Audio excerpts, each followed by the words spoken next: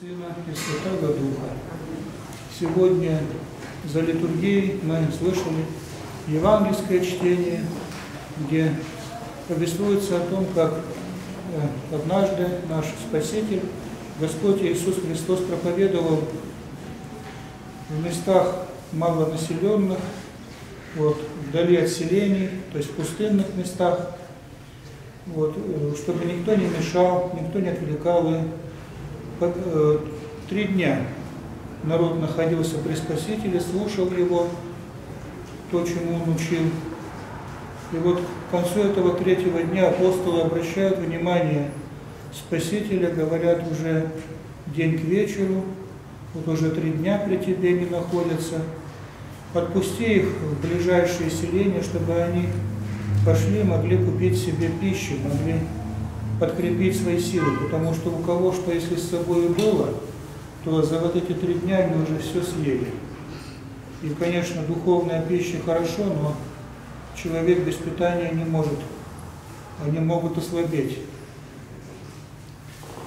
На удивление апостолов Господь не отпускает народ, а говорит апостолам, что вы им дадите есть. Они удивляются, говорят, Господи, и на 200 динариев не хватит, чтобы хотя бы понемножку каждому чего-то досталось. Он говорит, принесите, что у вас есть. И вот нашлось у одного мальчика пять лепешек, пять хлебов от этих и две печеные рыбки. И Господь говорит, принесите. Принесли ему, он благословил, преломил передал апостолам и сказал, чтобы они также преломляли эти хлебы, преломляли эту рыбу, раздавали всем, э, каждому подходящему. Причем давали не по кусочку, не по норме, а давали по потребности. То есть это уточняется, что каждый брал столько, сколько хотел. Ну, вот ребенку кусочек хлебца, кусочек рыбки хватит. А что будет этот кусочек большому взрослому мужчине? Ничего, никто никого там не мучил постом, так сказать, диетой. Сколько хочешь, столько и брали, поэтому большие люди брали полный подол, может быть, рубашку там или ткань, и, и хлеба, и рыбы. То есть ели все, и написано, сказано, что насытились, то есть полностью удовлетворили голод. Не просто подкрепились, а наелись в сытости. Но апостолы преломляли, и чтобы вот люди успевали, они это быстро делали и клали на полотно. И получилось так, что Господь говорит, соберите все эти вот наломанные кусочки, и набралось еще 12 полных корзин. Вот это чудо видели все, и люди видели, и прославили за это Бога. Мы, читая это место из Евангелия, во-первых, видим здесь божественную власть, божественную силу Господа Иисуса Христа, то есть Он для Него, как для Творца, первоисточника всего, все возможно. Он может, из, как Он сделал из ничего мир, так Он может из самого малого сделать всем достаток. То есть Он преломляет, и по Его благословению апостолы преломляют пять хлебов и две э, рыбки, и Мало того, что все насыщаются, еще и дается это все с избытком, то есть еще 12 полных корзин люди видят остатков. Во-вторых, вот в этом месте важно, что апостолы обращают внимание Спасителя. Он дождался, не сам он был инициатором, он дождался, чтобы апостолы позаботились о людях, потому что им в будущем предстоит быть Э, духовными пастырями, то есть э, руководителями, не только руководителями, отцами, то есть заботиться о пастыре, а заботиться о тех, о том, э, кто им отдан в попечение, важно не только о духовном, но и о земном их благополучии, о бытии, то есть чтобы они думали.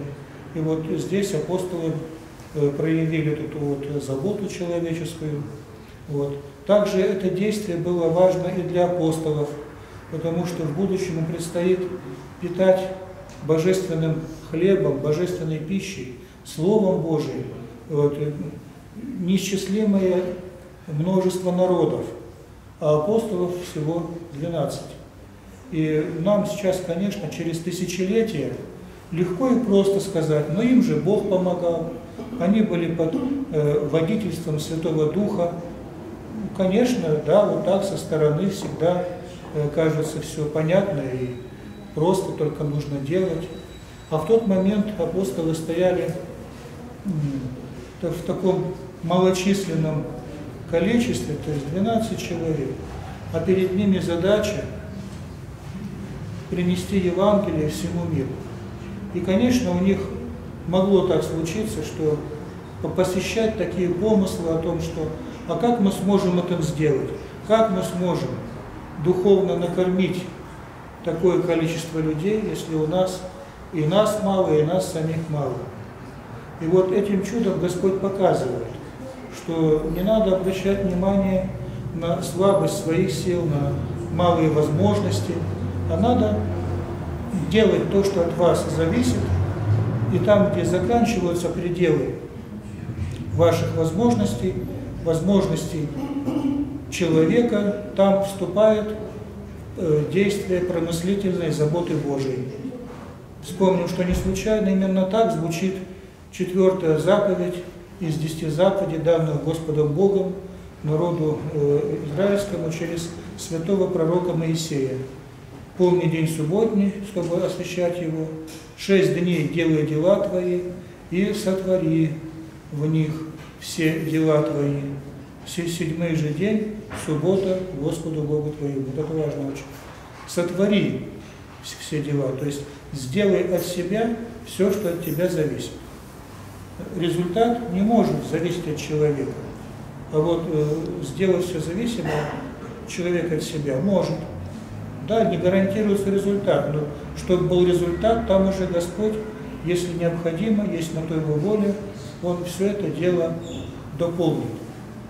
И вот это увидели апостолы. Важно также обратить внимание, что Господь дает все с избытком. Мы читаем Евангелие, всегда это место от Иоанна, Э, когда вот бывает памяти святых архиереев, патриархов, вот о пастыре добром, там такие звучат слова, что я пастырь добрый, хочу, чтобы имели жизнь и имели с избытком. То есть даже э, по-славянски звучит, да жизнь имут и лишь имут. То есть Господь не нормой, не мерой дает, как пишет апостол Павел благодать, а дает с, изобилием и с избытком. Поэтому мы видим 12 наполненных корзин оставшихся. Также важно, что дается, опять же, не каждому по мере, а по его желанию, по его необходимости. То есть э, вот эти подходящие питаться люди, дети, э, женщины, взрослые мужчины, там, пожилые люди, это образ разных душ, потому что духовно приходят люди в храм Божий, вступают в церковь Христову. У каждого, конечно, не одинаковые духовные запросы. Кому-то и, может быть, на первых порах и малого достаточно, кому-то побольше нужно, а кому-то нужно очень много. У него очень большие духовные запросы, очень большой духовный голод и жажда. И никто никому не отказывает, каждый может насыщаться полностью. Вот, то есть как можно сказать, что вот, как это выражается? Ну вот те, кто из нас, э, помним, вот, э, есть это э, в жития святых, Э, конца 4-5 века, это конец 300-х годов, 400-е годы. Там, когда пустынников находили некоторые монашествующие, которые давно уже удалились в пустынные места, они спрашивали про христиан. А среди вас есть сейчас верующие, которые могут по воде ходить, которые могут горы двигать, там смоковницу пересаживать одним желанием? Да, да нет, он говорит, странно ведь это же было сказано Спасителем, что даже если малую веру иметь будете, то так будет у вас все получаться, если сомнений не будет. То есть это к тому, что мы все подобны маленьким детям, которым этот маленький кусочек хлебушка, маленький кусочек рыбки, и мы довольны. А вот были те среди нас, ну, раньше жили, сейчас мы, конечно, их не знаем, кто это из нас, в будущем будет известно, кому много надо и кто много получал, это вот начиная с Антония Великого, наши русские святые, вот, преподобный Сергий, Серафим Саровский, вот их называют иногда в житиях святых, летописцы называют богатыри духа. Вот эти люди вот изобильную благодать получали в Церкви Христовой, поэтому были тем, кто они есть. То есть а, они стремились к Господу, и Господь им даровал вот эти благодатные дары щедро и изобильно.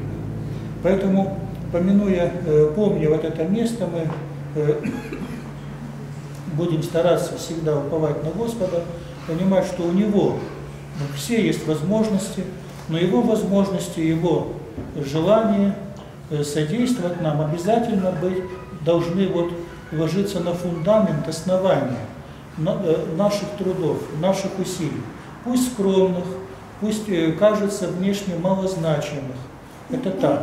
Но все равно нужно стараться изо всех сил делать все возможное. То есть не наполовину, не на три четверти, там, не на девять десятых, а делать полностью. Это касаемо и молитвы, в том числе, что вот э, бывает, ну кто из нас скажет, что его не посещают э, посторонние помыслы на молитве, рассеянность, иногда чувство холодности, такое бесчувствие, невнимание какое-то, и многие из-за такого состояния сокращают молитвы, бросают, думают, ну а зачем я буду молиться вот так, если вот нету того вот этого вот благоговения, жаркой, горячей молитвы. Зачем ей так вроде того, что вот его, его и не будет, если вот оставлять, если, если сокращать, а если думать, вспоминать, что положенное, которое у вас лично есть, установившееся количество молитвенного времени, правила, молитв, вот, э, если его не оставлять, не сокращать, а все равно стараться читать, молиться, то Господь постепенно и преобразит нашу душу и усилит нашу молитву. Это очень важно. Дело в том, что э, преподобный Антоний Великий, например, он жил вот, э, ну, почти 1500 лет назад, вот, примерно вот так.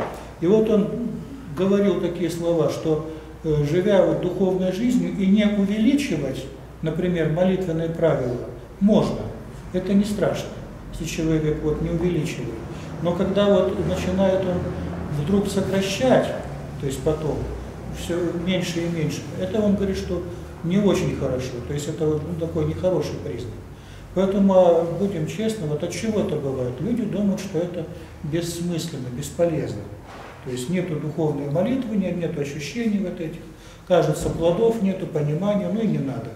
Надо, вот вспомнить эти вот э, э, ситуацию, э, то есть делаем то, что велит Спаситель, а что будет, это уже не от нас зависит. Поэтому и при, наши уже современные вот святые отцы, можно сказать, что современные, это святые отцы XIX века, и святитель Игнатий Бринчанинов, и святитель Феофан, затворник, они вот эти вещи говорят, что э, молитвенный труд, он похож вот как растопить печь, особенно в холодное время. Сначала туда, чтобы вы не ложили, как бы там не разжигали, она будет это вот и трещать, и дым, и дым в комнату идет, пока она не нагреется, пока тяга не образуется. И все непросто. Но когда она разгорится, прогреется, все прекрасно, и тепло, и сухо, и ничем не пахнет, ни дымом, ничем, и, и, и, и все хорошо. Но требуется труд. Поэтому вот, что бы мы ни делали в нашей духовной жизни, какие бы дела ни предпринимали, да и в земной в том числе, то же самое. Наши бытовые, забота о друг друге, забота о наших детях, забота о родителях, вот. вот где кажется, что вот эти малый труд, он ничего не значит, и поэтому можно делать там наполовину, спустя рукава, или там, как бы вот, или вообще отказаться от того, что все равно ничего не выйдет. Вот вспоминайте это место из Евангелия, делайте все от себя зависящее, и в какой-то мере, это может быть даже странно звучать, мы имеем тогда дерзновение уповать на помощь Божию. То есть, а вот если мы делаем не полностью, вот это вот на помощь Божию надеяться уже получается грешно, мы искушаем его. Поэтому будем стараться. То есть духовная жизнь многих людей вот не, не, не ведет или не понимает. Они почему-то считают, что такая, как бы вот, не инициативная, такая по течению плывет, такая вот неактивная. Вот нет, наоборот. То есть человек это соработник Божий. То есть Господь очень много и часто творит удивительные чудеса в нашей жизни через наши руки. То есть не обязательно руки святых, даже через нас. И те верующие, которые делали малое, а получалось великое благо, великая польза, получалось большое что-то, они всегда говорили, что слава Богу, мы это сделали, это понятно. Но мы увидели, как Господь идет нам навстречу и помогает каждому из нас. А ведь даже не это главное. Главное, что получается, что каждый миг нашей жизни, он рядом с нами. Он незримо все равно. Даже когда мы о нем забываем и не думаем, он помнит о нас. Он думает о нас, он заботится о нас. Он близко с нами. И свидетельствует свою близость своей промыслительной любовью, отеческой заботы. Аминь. С праздником.